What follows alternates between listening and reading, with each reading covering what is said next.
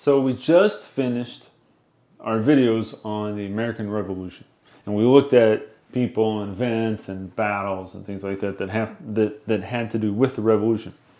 But one thing we didn't look at, and we're going to look at now, is that the the delegates to the Second Continental Congress they were thinking as early as 1777. They were thinking, what do we do if we have a new country? What kind of government are we going to have? Now just imagine that. This group of, of men, they had to think about forming a new country. It's a lot to think about. And what they came up with is the Articles of Confederation. The Constitution didn't come till later, till 1787. But as early as 1777, while the fighting was still going on, the Declaration had been read just a year earlier.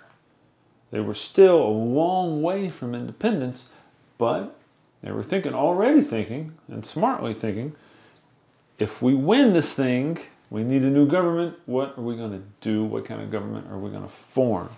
So they formed the Articles of Confederation, written in 1777 by the Continental Congress, the Second Continental Congress, and ratified 1781. And even that was before Yorktown. It was before the Treaty of Paris, two years before the Treaty of Paris. So they were under the Articles of Confederation even before the war ended, and that lasted until 1787.